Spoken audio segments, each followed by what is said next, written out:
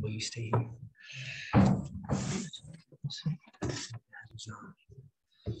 Is this okay? Yeah, thank you.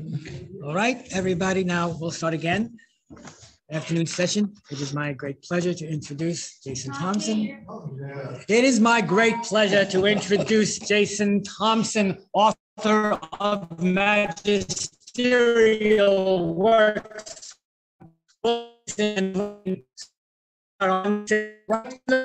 Room on that table. Jason will speak. Jason will speak this afternoon on Robert Hay and Edward William Lane, the rewards and frustrations of friendship. Uh, Thank you, Larry. My pleasure. A, a good way to learn about people is to study the people around them. That's why collective biography or prosopography is an excellent approach to apply to Robert Hay.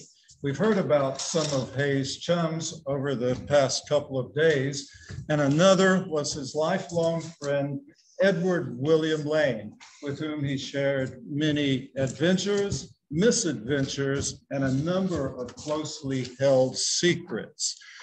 Lane um, was born in 1801, so he was two years younger than Robert Hay and a near contemporary. He was raised by his mother, his widowed mother, who ran a school and apparently received a, a very good early education, albeit a naive one because when he went up to Cambridge intending to follow his father's career as a clergyman, he was so appalled by what he considered the degenerate lifestyle of the undergraduates there that he left that den of vice and sin after just two days and swore never to return.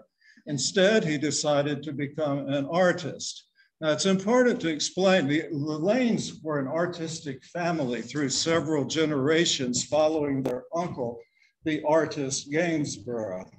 And Lane's brother, Richard J. Lane, ARA, who made uh, many, uh, who made all of the portraits of Lane that we will see, was a highly accomplished artist himself. But, and so Lane is apprenticed as a, as an engraver, scratching his burin into, into metal plates. That turned out not to be his career. He only published one print because his interests were attracted elsewhere by the uh, uh, sensational book by uh, the strongman Egyptologist Giovanni Battista Belzoni and Belzoni's uh, famous exhibit of the tomb of Seti I that he had discovered at Piccadilly near where Lane was scratching his metal plates. Lane decided the Middle East his career, to go to Egypt and study everything he could about it. Now, at some point, his interest focused more, but not entirely, on modern Egypt. As he explained, a zealous attachment to the study of Oriental literature and a particular desire to render myself familiar with the language of the Arabs and with their manners and customs induced me to visit Egypt. But these were not my only reasons. I had long held a fervent desire to examine the antiquities of that most interesting country. And he goes on to explain how he intended to write a book about it today, an illustrated book. And for that reason, we've seen the camera lucida already. Lane was well acquainted with its inventor, Dr. Wollaston, and that's what he made all, all of his images in on camera lucida cards. We'll see a lot of them in this hour. Some of them rough outlines, and some of them he's touched up with sepia and all, intending them for publication. He studied hard so hard that his health broke because he, and somehow he learned enough Egyptian colloquial Arabic to function in Egypt before he arrived at Alexandria in September 1825. But when his boat approached shore, he was seized by an anxiety attack. What am I going to do? He thought, after all that hard work and study, if I don't like this place after all. And so that prompted him to write some of the best lines he ever composed. He said, as, as I approached the shore, I felt like an Eastern bridegroom about to lift up the veil of his bride and to see for the first time the features which were to charm or disappoint or disgust him. I was not visiting Egypt merely as a traveler to examine its pyramids and temples and grottos, and after satisfying my curiosity to quit it for other pl places and other pleasures. I was about to throw myself entirely among natives to learn their language, their customs, and their dress, and in prosecuting the study of their literature to associate almost exclusively with, with natives. He need not have worried. He landed in Alexandria, quickly saw all of the usual sights. The two of us still had not yet migrated to London and New York, eh, but he quickly moved on upstream. Now, a little, as he drew this, this image of Fuwa on the western Rosetta branch of the Nile, you can see his eye for detail. But one thing I want to point out from the front, if you can see him on that's Lane on the on the on the right, he usually, whenever he could, would draw himself into his images, and uh, excuse me, and sometimes uh, Robert Hay as well. And so he landed at Bulak. There's Sinan Pasha just in behind where the 26th July uh, bridge is today and reached Cairo, which in those days was uh, a mile inland as he made his, his view stretching from the south. There's the frumpy old Bab al Hadid that was in 1849. And then moved north, uh, the citadel uh, with, without the distinctive Muhammad Ali Mosque. Lane lived uh, right, right there. Oh, you can't hear me? It's difficult when you face away. Oh, yeah, sorry. Um, I just wanted to point to it. Ramses Square is right there on the, on the left now. Uh, he made good on his vow to throw himself almost exclusively among, among the natives, adopting, well, not Egyptian, but Turkish lifestyle, and also a new identity. He transformed himself, as you see in one of his letters, Mansur Effendi, or Mansur Effendi al-Inglisi because he never pretended, like uh, some travelers, to be something he was not. He was an Englishman living in Egypt, learning about Egypt, and was treated as such. But the Turkish status gave him a little bit of extra cachet. You can also in you can see him in this stunning life-size terracotta statue made by his brother Richard. And a, a key to his identity on the, uh, on the little finger of his right hand, here we'll make it clearer, little right hand, the finger of his right hand, where he always wore to the end of his life his signet ring engraved with his Mansur Effendi identity. So I, while I was in Egypt, I had to, in the invitation, I had to have one made as well, but with, with my Egyptian name instead of, instead of his. He plunged into all of the, into Cairo. There he is perched on the mastaba of the Ahwa, or coffee house, again, trying to impart as much information as he could. You can see them making coffee in the background, the sakiyas or water carriers, the camels with their accoutrements, and the model for the donkey is his own donkey, um, Dum Dum. Uh, the stories I could tell about that burro. He uh, prayed in the mosque. He never converted, uh, although he did become a bit heterodox with time. That's Lane there on the right and, and, and back to, to learn the positions of prayer and uh, to delve as deeply into Islam as he could and out into Cairo, Al Azhar, and to see all of the Islamic monuments. And later he toured all of these on the sketching tour with Robert Hay, or out to uh, the Northern Cemetery, to that jewel of a monument, the Mosque Muslim of Sultan Qaitbay, particularly dear to my heart because when I'm in Cairo, I live just behind that in the Northern Cemetery in my adopted family's uh, building. He also, of course, made it out to, out to the pyramids. And there in front, where, well, the, the village of Neslet, as the man has ruined it now, he lived in one of those, those tombs in the cliff. And he said, Never did I have a more happy time. And so the pyramids from top to bottom can only show you a sample at, across. And here at the third pyramid, just beyond the gouge made by Uthman, he is standing there above the, the row of, of granite stones. It had not yet been opened, but he predicted that it would appear there uh, to, to the, be found there to the right. He was not interested in excavation and he had no money to do it. His, his goals were language and society. And in the eastern and western cemeteries, he delved extensively a floor plan of one of the mastabas and also began recording cartouches to put together his king list. Their fourth dynasty, Shepseskaf, Khufu, another name for Khufu, and fifth, uh, fifth dynasty, Neferirkare Kakai. Uh, at Saqqara, he, uh, he explored thoroughly. I don't have an image of it to share with you today, but he was the first to map the hypogea or underground of the step pyramid, which is greater than that of any other pyramid. And note, of a 26th dynasty pharaoh. And he made the, uh, the obligatory trip uh, up, up the Nile as far as the second cataract and, and Wadi Halfa, recording all the way.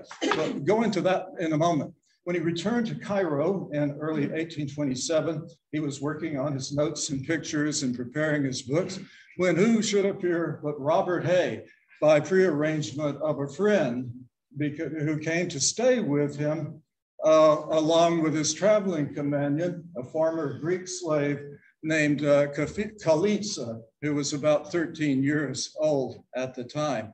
They all hit it off very, very well. Now, I don't have an early image of Kalitsa, but she's almost certainly one of the, one of the uh, girls there on the left in this image from the Hay portfolio where Hay uh, portrayed himself in, in a room uh, in temple at Medinet Habu that they hmm. converted into such a comfortable habitation. Um, that Hay on the right, and I don't, we, we've had various identifications for the other two gentlemen, and perhaps someone can supply their own, their own opinion. Now, it's very important here to stop and, and, and point out Hay and Lane were all part of an informal group of young Orientalists and Egyptologists, a word that did not even yet exist. And notable among the group was John Gardner Wilkinson after he had metamorphosized himself into Sir Gardner Wilkinson. He was Ismail Effendi. They both, Wilkinson and Lane, both died almost uh, at the same time. But till the end of their life in the 1870s, they called each other Ismail and Mansour. Uh, James Burton, before he went to Egypt, Yaqub Effendi.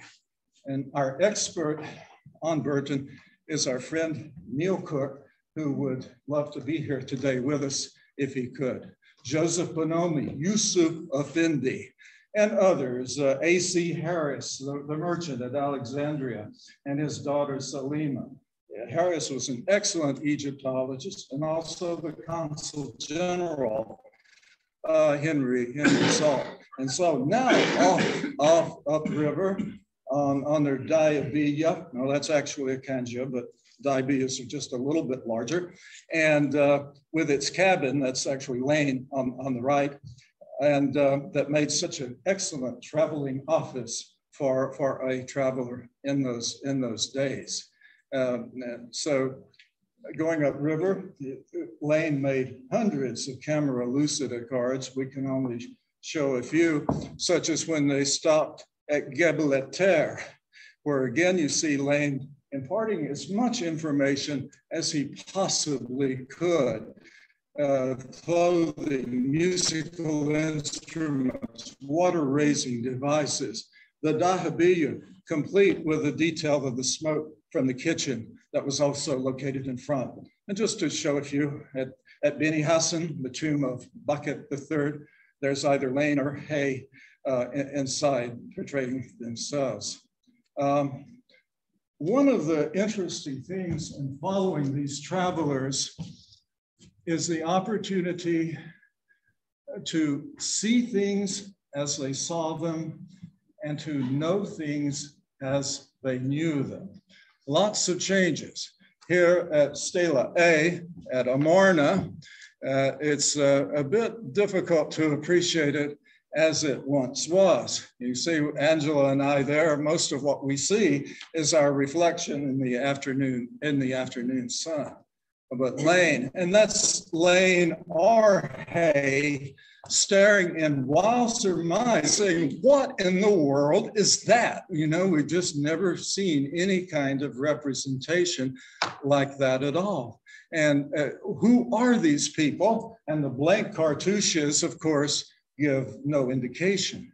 Now, on the other side of the river, in the northern tombs that Wilkinson had discovered a short time before, but Wilkinson tried to keep them secret from the rest, which put Hay into an absolutely incoherent rage because that wasn't the, the way that things done.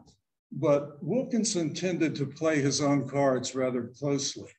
And in the in tomb three, the tomb of Ahmes, he again found the same extraordinary representations, but all just had been defaced. So he went around copying bits and pieces and putting them together and assembled two complete sets, which only increased his confusion because, of course, the one on the left in one of those remarkable Amarna innovations is actually the Aten, uh, the Aten, the, the deity of the life-giving uh, uh, uh, sun. And, and the one on the right, uh, the pair on the right is Akhenaten himself uh, who had been so thoroughly erased from memory. And these people are kicking themselves. Why don't we know what, the, what this is? When in fact, they were privileged, privileged to see something that, uh, that was really quite new, an important rediscovery. And of course, on to Thebes. And there, uh, naturally, they spent time at the major temples. I'm not point out not to show family photos, but I think it's important to note that when you're researching and traveling and following these guys, you're always conditioned by, by family experiences. And so there's, there's my little boy Julian on the right making his own perspective of, of the temple. I had a, always had a hard time keeping pencil and paper for, for my own use because he was ripping them off uh, uh, as fast as he could. So there it is, or as it was a few years ago. But look at what Lane was able to see, both, both uh, obelisk in place and the Egyptian village that was so evocatively described by Lucy Duff Gordon spilling back into the temple.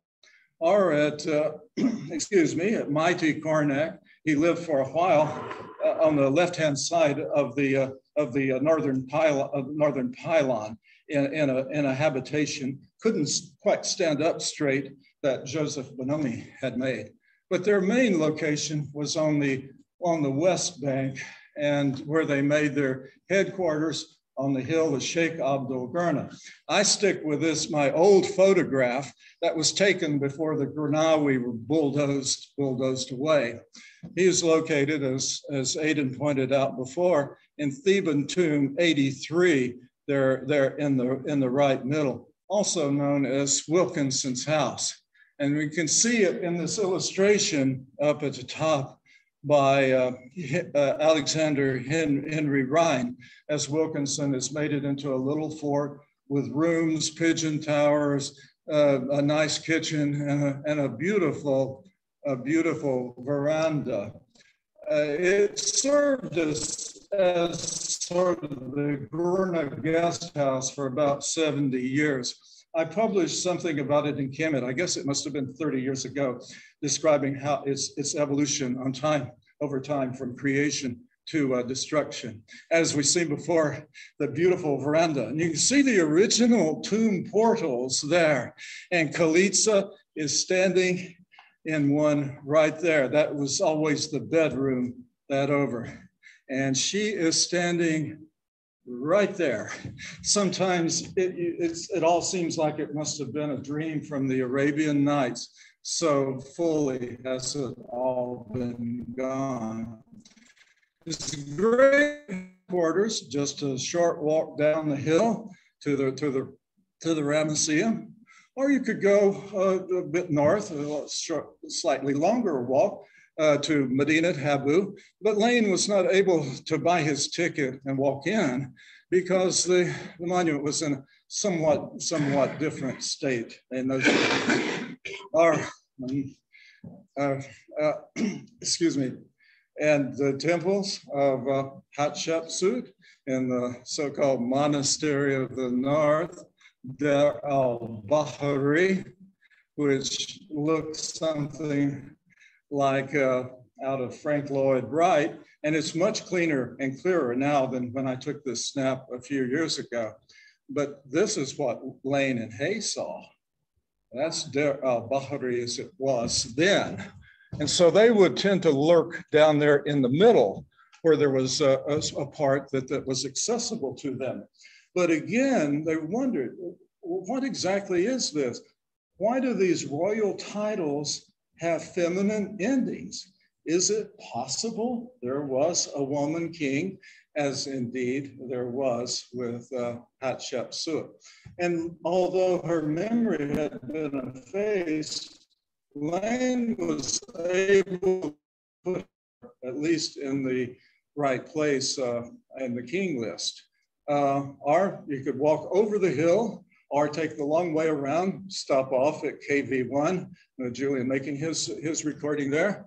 And that one, until fairly recently, had not, had not changed much, but there's been some renovation uh, since then.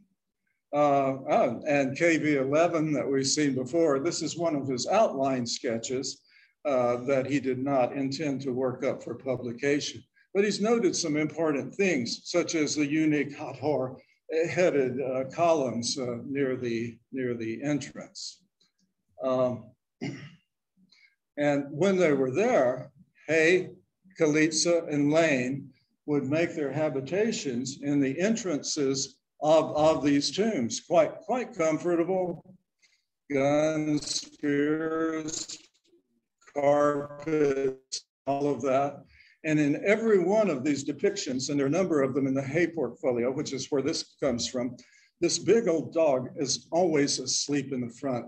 And I would so much wish that I knew more about that hound because he, she was part of the process as well. Well, further north, skip over so much, at Armant, Lane was one of the last to see the surviving above ground uh, parts of the temple of the war god Montu. And we can Photoshop this and get some idea of, of the, uh, how he worked with the camera lucida.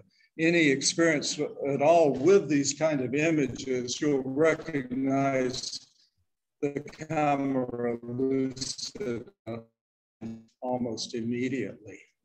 Uh, Lane's brother, Richard, made a portrait of him, sketch, striding through the monuments of ancient Egypt. At, excuse me, at further south still, at this, uh, and we find them here. There have been some changes here, haven't there? Quite a few. When, uh, when Lane was there, it was necessary for him uh, to go actually on top of the temple and then descend uh, through a hole in the floor to get through a few feet of available space uh, at the top. And through the first cataract, and on into Nubia at Tafa, where he uh, also took care to document contemporary Nubians and their household as well. When they returned to Cairo, Lane was working up his books and all preparing to uh, return to Britain because the money had run out when something new entered his life. This is often identified as Nafisa. It is not. It's just a portrait of a young Egyptian woman, totally imaginary, by Richard Lane. Nafisa was five years old at, at the time. But one dark evening, near dusk, he walked through the common uh, slave market and he saw this poor child all alone and miserable. And he, he felt so sorry for her, but he couldn't afford her. But Robert Hay bought her and placed Nafisa in his care. When they departed Egypt, uh, Lane and Nafisa, Lane took Nafisa home with him, and so did Hay and Kalitza. They traveled together and spent the obligatory month of quarantine at Malta in the Lazaretto. And while they were there, they discussed their future plans. Lane was going to be a professional writer, a man of letters. Hay was preparing to return to Egypt with an even bigger and better team. Lane offered to, well, you know, if I can help you from time to time in England, I'll certainly be happy to. Uh, now, Lane, when he returned to London, he worked assiduously as a writer, every day counting his words, or rather his pages, and keeping track of his progress and working through, working through uh, several drafts of his book manuscript entitled Description of Egypt. And when he had a, about the third draft ready, he took it to the famous firm of John Murray and Albemarle Street, the best place for works of travel and exploration. And there in the famous drawing room where Lord Byron, shadowy in the back, had uh, dealt with Murray, uh, so Lane pitched his book to John Murray II, who was quite impressed and agreed to publish the book with all its illustrations the more the better, he thought. There was one catch, though. There was a section of the book about the manners and customs, manners and customs of the modern Egyptians. Murray II did not think it fit and insisted that it, that it be removed. Other, otherwise, Lane proceeded to make the fair and final draft. He went through four drafts altogether of description of Egypt. And here is a page of his fair copy, the chapter at Wadi, Wadi es Sabua. And his clear handwriting is so, is so beautiful. It, it was a great relief after working with the execrable handwriting of Gardner Wilkins. And now I'm having to deal with Sir Richard Burton's bad handwriting, which is so bad that I'm pretty sure it can cause brain damage. The, uh, he, he worked up a dozen maps, such as this one of, uh, of Thebes. So you see Medinet Habu on the top, Valley of the Kings uh, off behind, and the major monuments uh, on, on the east bank. And uh, produced uh, his fine, his fine finished illustrations, which were intended to be finer still as they were to be worked up by lithography. Altogether, uh, description of Egypt has over 100 illustrations. Uh, alas, the Reform Bill of 1832 pre presented a big political and social crisis. Everything, including publication, came to a stop. And he's so eager for his book to, to go to press and, and nothing could be done. So he sank into, into depression, thinking, oh, I was so happy in Egypt.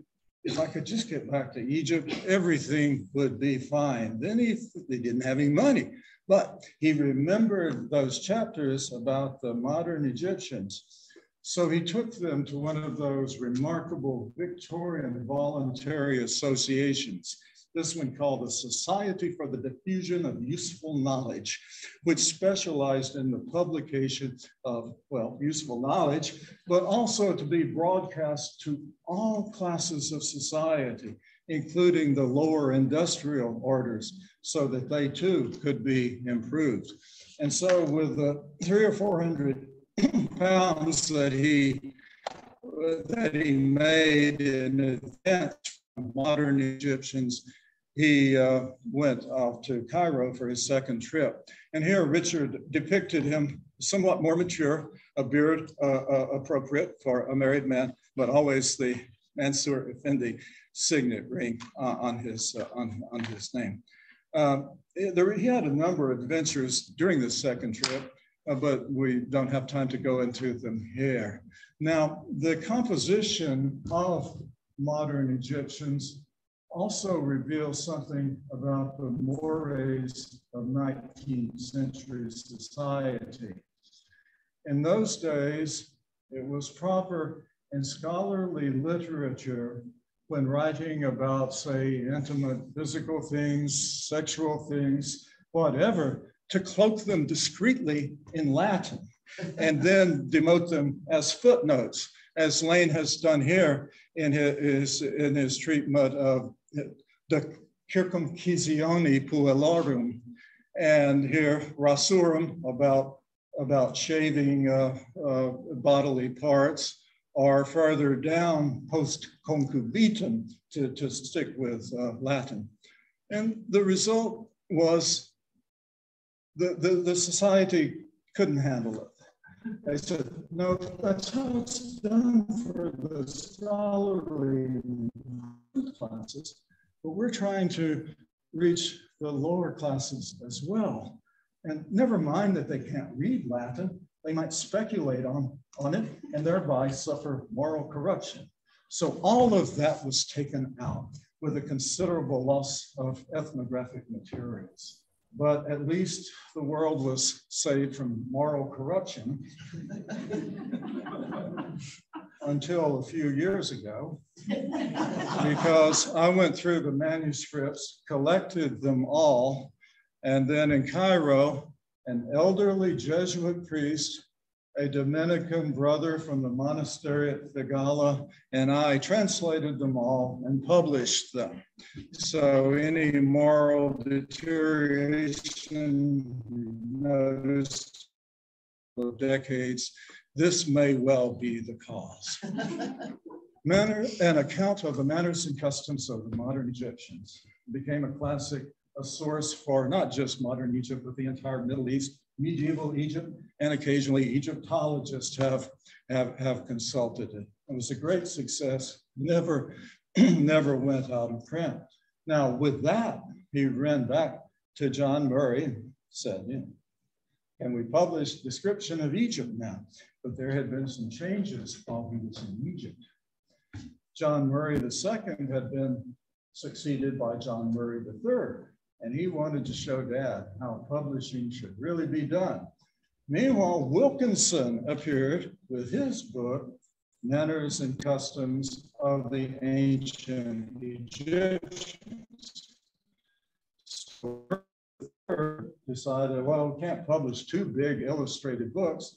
So he took Wilkinson's book and told Lane to find another publisher. He never was able, and as a to do it. But look at what he accomplished in modern Egyptians, taking people into Egyptians' home lanes, washing his hands there, showing the, the methods of dining and, and, and so forth. Uh, a picture of Egyptian life from childhood to, to, to death. Uh, the, uh, the, the meaning of, of it all was that Wilkinson had basically displaced him.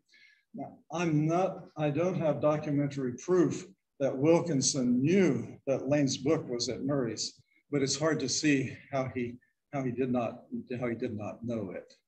Uh, but fortunately, uh, we eventually were able to publish a description of Egypt in, in, in 2000. Publication can be a long drawn out process, but 170 years would seem to be overdoing it.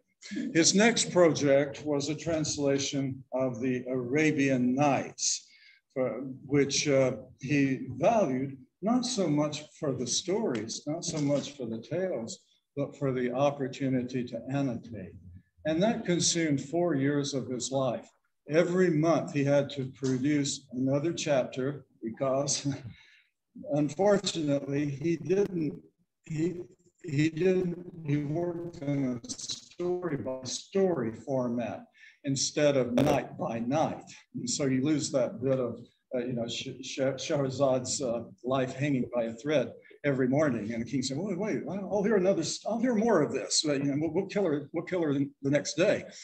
And uh, with its with its remarkable wood engraved illustrations, none of them though by Lane. That was the publisher's idea, and in fact, Lane considered them to be irrelevant. He went on to produce uh, selections from the Quran, which is utterly insignificant book. Arabian Nights has retained its longevity. I mean, in the 1880s, it was overshadowed by Sir Richard Burton's famous translation, but even today, it, it, has, it, it has its followers. It is, of course, heavily expurgated, but it cannot be completely expurgated. Otherwise, you lose the original framing tale, which is the carousing of the queen's wives and the king's determination to do something about them. I'm pretty sure he just wrote this for money uh, because he's at midlife now. And, and there were other things going on too. Let me, this is a page from the Pascal Coste portfolio that Robert Hay purchased and intended to publish. Now, let me explain. From 1828 when he returned to England until 1841, when he uh, uh, finished the Arabian Nights, he virtually served as Hay's literary and business agent. Uh, he, he offered to be of help. Now, Lane is sometimes said that Lane was Hay's employee. He never, he never was. He did all of this out of friendship. But before long, he found himself hiring and firing artists solving problems between Hay, who often did not, well, any anytime three people are involved, there's problems in communication, shipping materials and all of that. Finally, he complained hey, I can't do it anymore. I need, I need more time for my own writing. I'm, I'm trying, I'm trying to make it as a writer. And, but then he would feel bad about it and say, oh, okay, please send me something else to do. You know, use, use me, use me further. Uh, but Hay, Lane believed in Hay. He had seen these things go together, the collection, the cast, um, uh, so, so many other things that escaped me at the moment. But above all, the magnificent portfolio of, of drawings that he wanted to see come to fruition that of course only partially did. There, Lane kept chiding him, you know, say, get, get on with it. Let, let's, let's just, just do it, you know, let, us publish this. Lane uh, believed, in fact, Lane made it a point not even to think about ancient because he said, I find it so fascinating, it draws me away from my own, from my own work. Now, there was another issue with Hay too. We'll use this for, for Nafisa. This is 1840, 41 now. Nafisa was five when he acquired and brought her to England. They moved in with his mother and then later with his, his sister, Sophia Poole, whose husband, Reverend Poole, had vanished into the, into the night somewhere. But now in 1840, 41, Nafisa was 18 years old. And so you have an unmarried adult woman and an unmarried adult man living in the same house, not terribly proper in those days. And so Robert Hay essentially threatened to repossess her. if, the, if this continues, if you don't want her, send her back. And so Nafisa and Lane consulted his mother, and she decreed that they should marry. And so they did. And there was a beginning of, a good marriage. It lasted, lasted well. They very, very companionate. She didn't really uh, join in his work or anything like that. Their only sadness was that Nafisa was never able to carry a child to turn. So they consulted Dr., if that's what he was, Henry Abbott of collection and papyrus fame. He diagnosed her condition as ovarian dropsy, a very, very serious condition indeed. But he said there was an operation that could cure it. However, it was invariably fatal. In other words, the operation was a su success, but the patient died. It, it, they decided not to have, have the operation. Here, Lane, was a married man, what am I to do? How am I to support my family?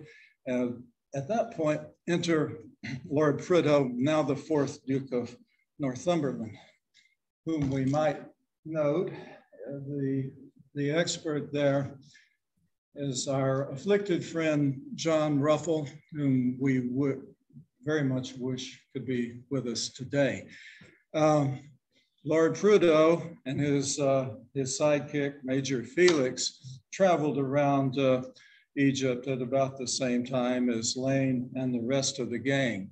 And now, as the fourth Duke of Northumberland and a very wealthy man, he offered to support Lane and preparation of an Arabic dictionary. This was the fulfillment of everything Lane could have wanted to plunge into the sea of Arabic language and never come up. So with that, he uh, went to Egypt for his fourth, third trip, excuse me. It lasted several years, seven years, but it is the least well documented of them all because Lane spent all of his time working on, on Arabic with his language master, Sheikh Ed Dasuki. He only took off Fridays when it was possible to visit him. And uh, also he observed Sunday and did not work on that.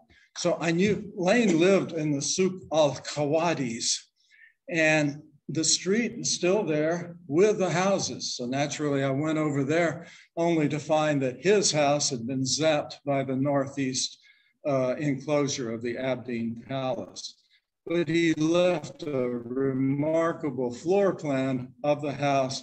At the bottom, you can see Ned's table and Sheikh's table, where he uh, worked on the Arabic English lexicon. Uh, returning to England in 1849, he eventually settled in Worthing at One Union Place, uh, a very quiet place to work. At least it was then it's uh, it's changed somewhat now. That's that's what that's the post office, and so it's been obliterated.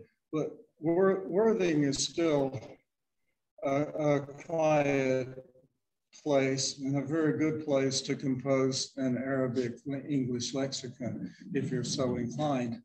And he's working there. All of some of these very precious Arabic uh, Arabic dictionaries from medieval times on as he compiled as he compiled the dictionary. And there, the first page of the first draft of the Arabic English lexicon. Can't see any of the details, but there it is. And not only was his English handwriting clear, he wrote a remarkably clear, never calligraphic, but perfectly clear Arabic hand. And the, the early draft, he called it the Arabic English thesaurus, but you can faintly see where he's collected, corrected thesaurus to lexicon. And in 1863 appeared the first volume of the Arabic English lexicon to be followed by the successive volumes at intervals. 1863 was also a fairly important year in Hay's life, wasn't it? Yes, that, that was, it, it died much, much too soon. Here he is, I think, supposedly in 18, in 1860, three years before his, before his, his early death. And Kalitsa, you know, I often look at that portrait and try to, try to infer, infer something, but it, it's far, far far away. But they, they kept up with each other. In fact, the only real surviving series of Lane's letters are those that he wrote to Hay and told it all. They, they held nothing back. They, they knew everything about each other and all, all, of, all of their secrets. Lane letters are extremely rare because he didn't write many. And toward the end of his life, he had every one that he could rounded up and he burned them all. And so Lane was getting on in years too. He, uh, 18, this portrait was taken in 1875, the year before his death, still got his signet ring as, as always. And Nafisa was getting on in years too. This is the only authentic uh, image of her that I know about. But in 1860, 1876, the East Norwood Cemetery beckoned. And Lane's out there somewhere. I don't know exactly where because about 40 or 50 years ago, the local government smashed his and Nafisa's uh, monuments and took, took them away. It's interesting to note though, if backing up to here, after Hay died, Kalitsa commissioned Joseph Bonomi to decide to design a monument in Egyptian style uh, for her late husband. Unfortunately, it was never, never realized. But even as he worked away so assiduously on his lexicon, at Worthing, he only took one day off a week. At there, he worked every day, including Friday, from early morning until 10 at night, desperately trying to complete the Arabic English lexicon, which he never quite did, but he, he did enough. And uh, uh, the only day he took off was Sunday when he relaxed by studying Hebrew. but, you know, surely during those days, occasionally he would take a walk, stop, think occasionally. He must have remembered the old Mansour Effendi days and his old friend Robert Hay and all the effort he had put into trying to make Hay's dream come to fruition, only to see very little to come of it except good, sincere friendship. And maybe that's enough.